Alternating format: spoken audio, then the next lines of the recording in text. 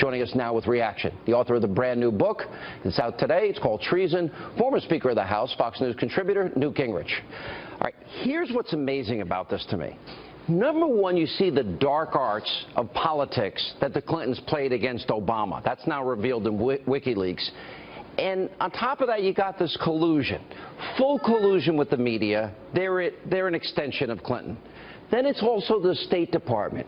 They're tipping off Clinton. The Justice Department is tipping off Clinton. The White House is helping Clinton with the email server scandal. And why?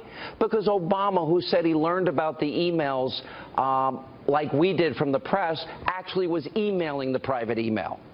What do you make of all this? And the media, by the way, all they want to talk about is some new woman that made an allegation this late in the game against Donald Trump. Well, look, I think you have to see the whole thing as, as the same thing.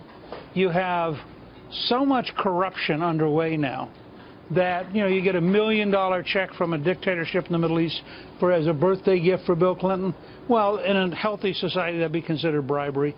You get um, the uh, richest man in Mexico donating millions of dollars to the Clinton Foundation, while he's also the major stockholder in the New York Times, which just happens to be doing everything it can to protect, uh, uh you know, Hillary Clinton. Can I, can I just stop you? All the million dollar check came from Qatar, a country that allows yes. that its marital rape is legal. Well, it's also a country which, which Hillary herself had said was helping support and sustain ISIS. Yep. I mean, one of the things, the, the you know, WikiLeaks, is, there's so much material there that it's going to take a while for it to sink in. But WikiLeaks actually is going to presently give us an entirely new understanding of how sick and how dishonest and how corrupt the left is and all of its mechanisms, the news media, the bureaucracy, the campaign. And at the center of it are the Clintons, and Hillary Clinton is the most corrupt candidate ever to run for president of the United States. And, and you're now seeing detail after detail after detail that it's beyond any reasonable question of the depth of their corruption and the, what they would bring into the White House. Uh, if you look at how they, the $10 billion was supposed to go to help the Haitians uh, after uh, the last earthquake, and, and, and, what do we have happen? Yeah. You suddenly had friends of Bill who came to not not people who knew Haiti, not people who had particular skills, but friends of Bill, people who had donated, suddenly got special State Department treatment. Uh, this kind of stuff surfacing now in a way that I suspect the average American over the next week or two is just going to be sickened by the repetitive example, example, example you, of corruption. Do you think it's a coincidence that here we are 25 days out of a campaign and then all of a sudden, out of nowhere, Six women come out and make allegations against Donald Trump. Six. And do you think it's coincidental it's happening right in the middle of a massive document no. dump that implicates the Clintons? Look, if you're the New York Times or CBS News or the Washington Post, and you're desperately propping up the most corrupt candidate in history, you're going to reach for anything. I, I, think it's actually funny today that the man who was cited by that first woman being on the first class flight in the airplane 30 years ago actually came out of the woodwork, turns out to be British, said, yes, I was sitting across the aisle, no, she's a total liar. I mean, you know, all this, these things are all going to unravel.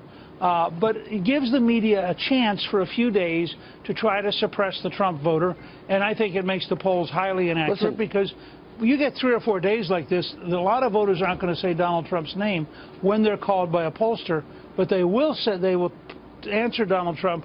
This is why Rasmussen is very different from some of the polls, because it doesn't require you to tell a person what you're going to do. That's pretty interesting. Um, and I like the, what you're saying. It took me 10 minutes to outline just the headlines of what is so, oh, there's so much here about collusion with the media, collusion with the State Department, collusion with the Justice Department and the White House knowing and Obama lied, and they're talking about erasing emails that are under subpoena. There's a lot here. As the Clinton campaign faces more fallout from the apparent hack of campaign chairman John Podesta's personal email, the campaign today called on Trump to condemn what Clinton folks say is Russia's, quote, direct assault on our democracy. Well, when I sat down with Vice President Biden yesterday, I asked him about how the U.S. is responding to all of the recent hacking from Russia. Why haven't we sent a message yet to Putin? We're sending a message. We have the capacity to do it, and uh, the message he'll we know sent, it. The he'll know it. and it'll be at the time of our choosing and under the circumstances that have the greatest impact. Uh, the capacity to do, to fundamentally alter the election is, is, is not what people think. And uh, I tell you what, to the extent that they do, we will be proportional in what we do. And uh, at, at, uh, So a message is going to be sent. Will the public know it? I hope not. U.S. officials have reportedly told NBC News that the CIA is preparing for a possible cyber attack against Russia. The move would apparently be intended as retaliation for Russia's alleged interference in America's presidential election, a charge Russia denies and for which it says the U.S. still has no evidence. It said an attack would seek to, quote, harass and embarrass Russian authorities. And former U.S. diplomat Jim Jatras, however, thinks there might be other reasons for a cyber offensive against Moscow. This is almost like a like a press release that the government is giving out as a warning shot or really a threat against the Russians. And even though they're saying this is connected to the election, there's no real evidence regarding the uh, DNC and the other things on WikiLeaks. What the statement says is that it's geared toward interference with the election itself, with the voting. And uh, anybody who's familiar with our system knows that that's ne- next to impossible. We don't have a si- single nationwide voting system. We have 50 states, thousands of local state and county systems, most of which are paper, most of which are even the electronic ones not connected to the internet.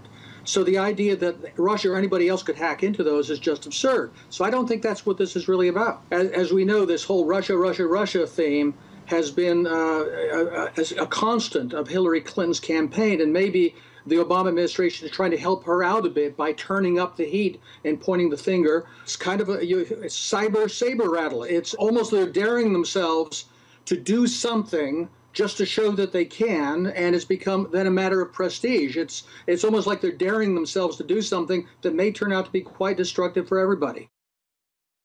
The blame game began some time ago, the latest accusations claiming WikiLeaks and Russia are somehow linked in releasing emails from Hillary Clinton's campaign chairman.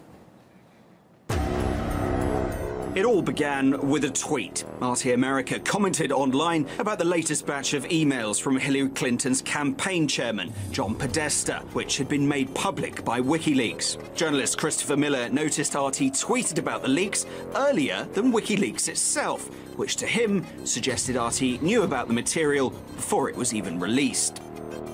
His idea proved incendiary and was picked up by Clinton's camp, which claimed the tweet was evidence of Russian interference in the US presidential race.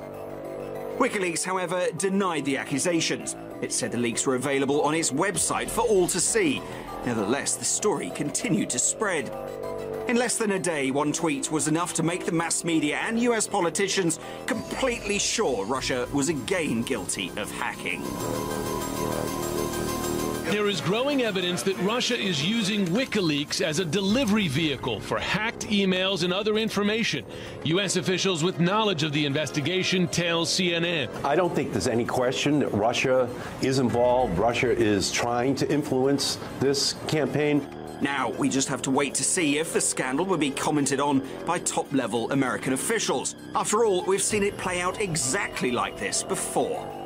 This summer, what started as a reference to an unnamed source disclosing alleged Russian hacking of the Democratic campaign ended with official confirmation by US intelligence. And a three paragraph report with lots of confidence, but not a single shred of proof.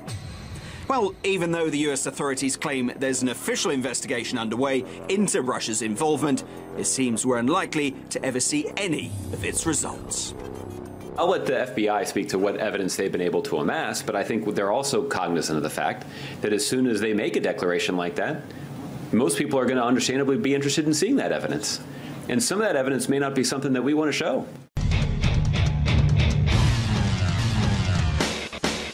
Welcome to my chambers. The hack on the Democratic National Committee, which exposed emails, continues to intrigue.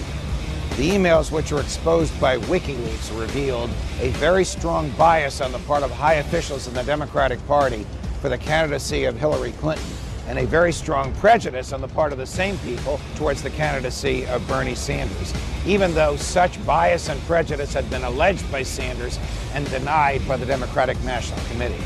It even resulted in the resignation of the chair of the committee as a result of a unanimous request from the members of the committee and the intervention of President Obama himself. But in order to get this issue off the front page, the DNC and the Clinton campaign decided to blame, of all people, the Russians.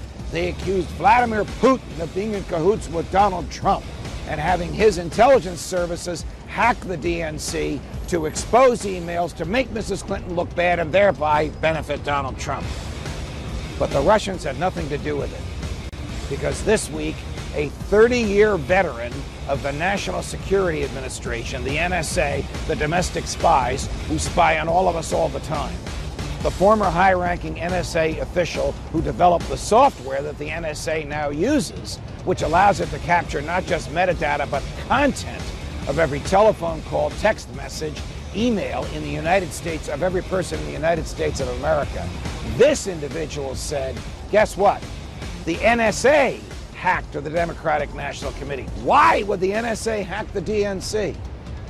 Because the members of the intelligence community simply do not want Hillary Clinton to be president of the United States because she doesn't know how to handle state secrets because some of the state secrets that she revealed use the proper true names of American intelligence agents operating undercover in the Middle East. When they lost their covers, they ran for their lives, and some of them didn't run fast enough and lost their lives. It's very telling that the intelligence community would feel so strongly about Mrs. Clinton that they would attempt to sabotage her campaign to prevent her from becoming their boss. It's also telling that these folks would break American law in order to, in their view, save it. Welcome to my chambers. Fight the good fight. Good evening. There will be no troop movements or a single shot fired. But NBC News has learned exclusively that the United States is poised for an unprecedented retaliatory assault against Russia in response to its interference in the U.S. election.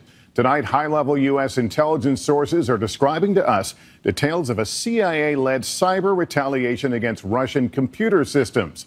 And it could get personal, targeting the Russian leadership from Vladimir Putin on down, who the U.S. accuses of sponsoring a series of hacks meant to undermine confidence in the American election. Senior investigative correspondent Cynthia McFadden has details. NBC News has learned the CIA is in the initial phase of a wide ranging cyber retaliation designed to be both clandestine and embarrassing. Sources with direct knowledge of the operation tell us the target, the Kremlin leadership, particularly Vladimir Putin. If ordered by the White House, the CIA could manipulate things as specific as the banking accounts and personal phones of the Kremlin leadership. There's a great deal of offshore money that has moved out of Russia through the hands of oligarchs. It would be extremely embarrassing if that were revealed, and doing so would be a way to have a proportional response to what we have seen. The covert operation, the sources tell NBC News, is being run by a super secret group inside the CIA. Top secret documents indicate they have a staff of hundreds and a budget in the hundreds of millions. The covert operation is designed to send Russia a signal to back off. How does it work? U.S. cyber operatives have long been active inside Russia itself, trying to unlock the cyber doors the Russians work hard to secure, feeding information back to CIA headquarters at Langley. Inside Langley, CIA super hackers use that information to direct drones and specialized low flying satellites over Russia, and even submarines positioned off the Russian coasts. A former senior intelligence official tells NBC News he believes the U.S. response to the Russian hack should be overt for everybody to see, and that it should include a persuasion campaign designed to inform the Russian people about Putin. If you publicly accuse someone and don't follow it up with a response action, that may weaken the credible threat of your response capability. Sean Kanuck was until this spring the senior U.S. intelligence official responsible for analyzing Russian cyber capabilities. You're seeing it play out between two longtime chess players in this field. Uh, we've seen it in past decades in the nuclear era, and now we're seeing it in the cyber era. Unless we stand up to this kind of cyber attack from Russia, we'll only see more and more of it in the future. But tonight, while the CIA continues to lay the technical groundwork, we're being told that there are deep divisions at the top of the Obama administration about whether to proceed, and there are other options being considered. This mission cannot go forward without an order from the president. Lester? Cynthia McFadden tonight. Cynthia, thank you.